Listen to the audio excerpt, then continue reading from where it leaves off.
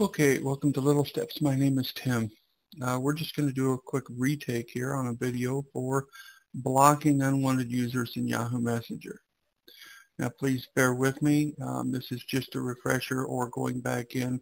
I did have somebody comment that the text was not quite visible in my old video, so I'm going to go ahead and do this in a lower resolution just so you can see. Now the very first thing we're going to cover here in blocking unwanted users is you want to go ahead, if you are being harassed or, or you want to block somebody, it's really a good idea to manage and keep the information just so you have some way to track it if you have to get the police involved or the authorities involved in either tracking or dealing with this situation. You do want to have references. You want to be able to go back and show that someone's actually harassing you, that they're you're not just making this up. What you can do here is if you click on Messenger, now please note that there's, if your Messenger window isn't open, you can click on your quick launch, you can open it up, or you can just double click on your icon down here by your clock. Now yours is probably going to be down here on the right corner. I moved mine over here to the left. Nothing you need to worry about except you can access your program by double clicking on this icon. Then you want to click on your messenger, which is your drop down. Then go down to preferences. Now also make note that you do have shortcuts for some of these uh, items and you do want to learn to use those as well. That will make you more effective using Windows. Now what you first want to do is you want to go down to archives. Again, going back, it's critical that if you're going to report somebody, you do need to keep a record of this. So what you can do is you read here, do you want to save an archive of all the messages you send and receive on this computer? Yes.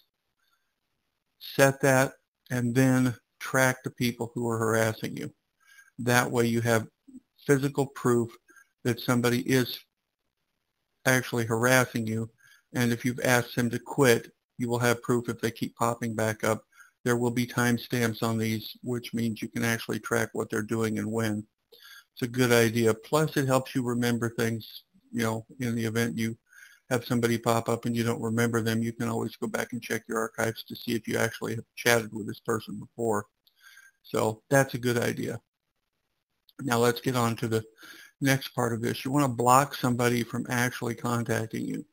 Now there's a preemptive block, which means you can preemptively block anybody by clicking on your ignore list down here on the left side.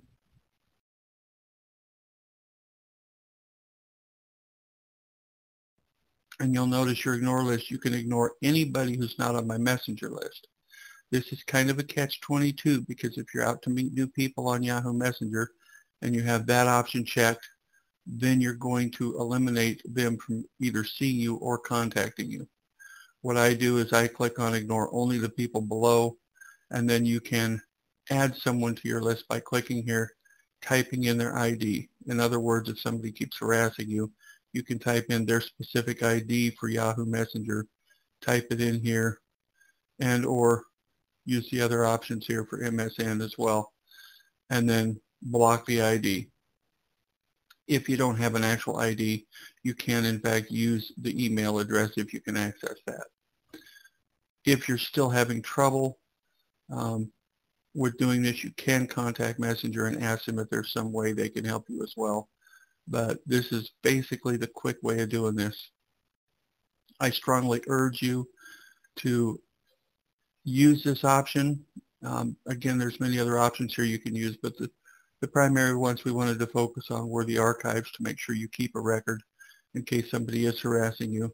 And also these two options here for either ignoring everyone, which does have a setback because you can't see new people who want to chat with you.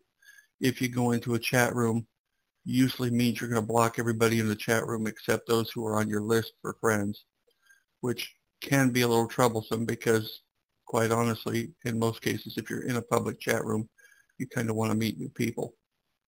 But I use this option here myself just because I don't want certain people accessing my information or popping up on my screen because they tend to be either bots or people who are trying to harass me or hack my computer or something like that.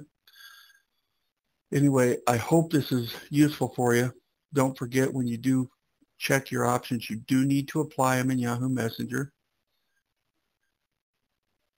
And then click OK. And then you can add or remove people from your list. Anyway, thanks again for tuning in for this short video. Thank you for tuning into my channel and please continue to tune in for future things. If you do have a comment, if you have a question, if you have a recommendation or something that you would like put onto my channel, I would be more than happy to reference it and uh, possibly put, a, put on a video for it if I can find what it is you're wanting or needing access to or, or a little bit more information about. I'd be more than happy to help you out. Thanks again and have a great day and keep tuning in. Bye.